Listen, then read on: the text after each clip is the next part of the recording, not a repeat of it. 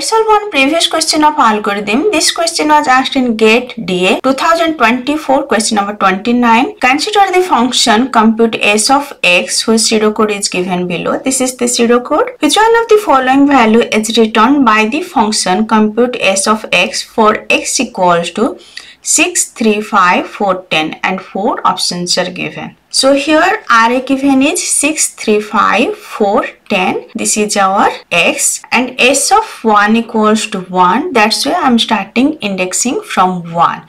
Generally index start from 0 but if it's given index start from 1 then it should start from 1. Now for i 2 to length of x. Now i will range from 2 to 5. s of i equals to 1 means s of 2 equals to 1. Initial s of 1 equals to 1 given. Now here s of 2 equals to 1. If x of i minus 1 less than equals to x of i means if 6 is less than 3. Is 6 less than 3? No. Then we'll do and if and return the value of s means s of 2 equals to 1. Next i will be 3. If x of i minus 1 less than equals to x of i, is this 3 less than 5? Yes. 3 is less than 5 then s of i will be s of i plus s of i minus 1 means s of 3 will be s of 3 plus s of 2 so here s of 3 value is 1 s of 2 is 1 so s of 3 will be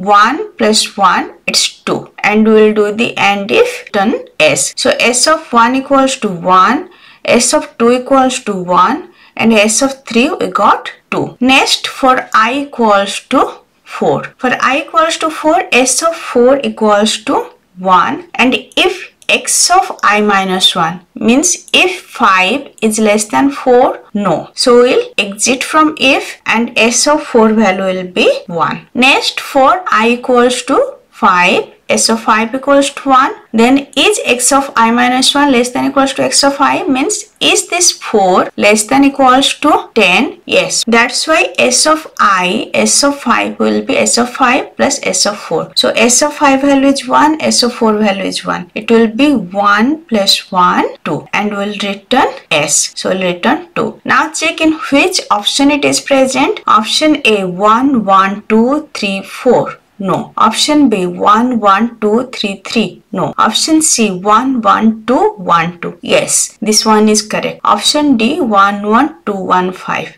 No. So answer will be option C. This is a easy question. Just you need to run the pseudocode. You can easily get the answer. If this lecture is helpful for you, please like, share and subscribe. Thank you.